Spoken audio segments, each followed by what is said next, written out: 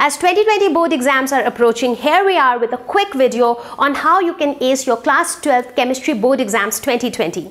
A lot of you might be anxious hearing the news of change in question paper format as well as change in syllabus. So let's take a sneak peek into the new question paper format and also few special tips that will help you to crack your exam. So this is how the syllabus for class 12th chemistry looks like. However, for class 12 the 2020 board exams, there is a slight change in the syllabus.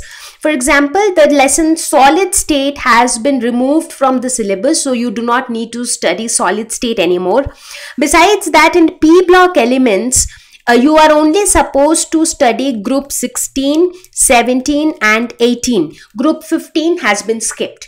Besides that, there is no major change in the syllabus, so everything else remains the same. Uh, we will now take a look at the sample question paper. So basically this is a sample question paper format that has been released on the official site of CBSE. So we see that the total marks is 70, 30 marks being reserved for chemistry practicals. The question paper consists of four sections, section A, B, C and D. So let us quickly look at each of these sections. So we'll start with section A. So in section A, you will have 20 questions of one mark each. Now, uh, what all can you expect in these 20 questions? So you can expect MCQs that are multiple choice questions. You can also expect passage reading questions. So what are these passage reading questions? So you will be given a passage uh, which could be a scenario basically and then there will be five questions which which will be based on that scenario or the passage which is given there. So you can expect that. Besides that, you can expect one word or one liner questions wherein the answer has to be given in one word or one sentence. So you can expect them and you can also expect assertion reasoning questions. Now, a lot of you might be curious to know what are these assertion reasoning questions. So this is how they look like. So if you look at this question number 16 to 20, they are all assertion reasoning questions. So in these questions, you will be given two statements. The first statement is the assertion, the second statement is the reason. And then you have four options. Like the options go like this. Both the statements are correct. The reason statement is the correct explanation of the assertion.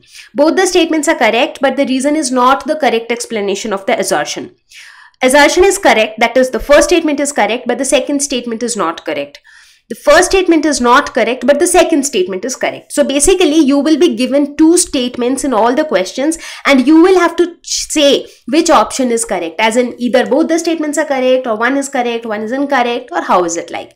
So they are basically assertion and reasoning questions. Okay, now let's move on to section B. So in section B, you have uh, seven questions of two marks each.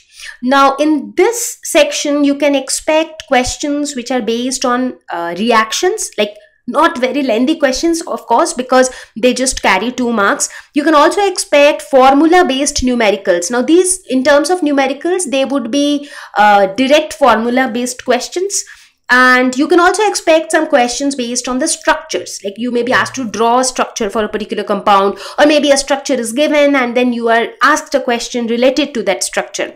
So you can expect these kind of questions in section b. Moving on to section c where you will again have seven questions but these questions will be of three marks each so obviously here the answers are going to be lengthier. So here you can actually expect proper numericals from physical chemistry. Uh, from organic chemistry, you can expect reaction based questions. Uh, you can also expect some definitions, difference between kind of questions uh, here in this section C. And finally, the last section that is section D, where you will have only three questions, but each of these questions will carry five marks. So these are like the long answer questions. However, in this particular section, you have lot of options. For example, if you see every, in most of the questions, you get an or. So you get to choose from two questions and you can answer one of these. So the options are available in section D.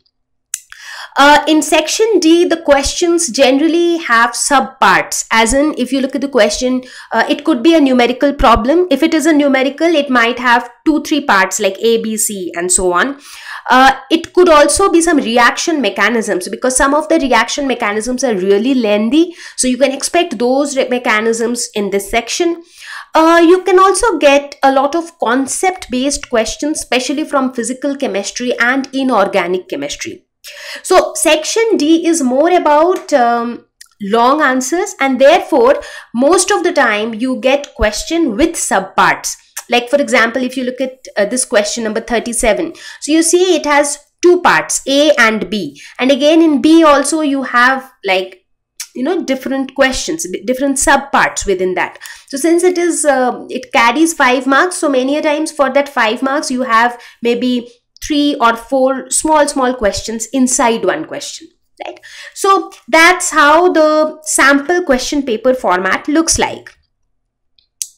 Now, few tips that I would want you to remember while you are preparing for your class 12th chemistry board exams 2020 cover ncert topics thoroughly. Now that's very important. So ncert is like your bible and do not skip anything that is given in ncert cover the complete syllabus do not skip lessons or topics because uh, the way the question paper format has been designed now these uh, one mark question you actually have 21 mark questions. These one mark questions can be picked up from anywhere. So it is better that you kind of complete the syllabus. It's not that you just study two lessons and you feel that you know i know two lessons really well and i'll be able to do it well. So not like that. Uh, kind of cover the complete syllabus. Practice numerical problems. That's important because in chemistry you know your most of the paper is like numerical based and reaction based. So they are like very important. Understand reactions. Do not memorize them. Now that's truly important because if you start memorizing chemical reactions you may be in a fix when you are asked about a reaction mechanism. So therefore it's important to understand them. Most importantly solve sample papers. That's very important and needless to say because when you solve sample papers you get a real-time experience of your exam. It builds your confidence. It helps you to revise the entire syllabus. So please please solve as many sample papers as you can. The length of an answer should be in accordance with the weightage of marks because as I told you that if a question is asked in section B that means the answer has to be in accordance with a two mark answer. You should not write pages after pages. But if a similar question has been asked in section D, you are expected to give a detailed answer because now your answer carries five marks. So always keep in mind the weightage of marks for that particular question and accordingly write your answer.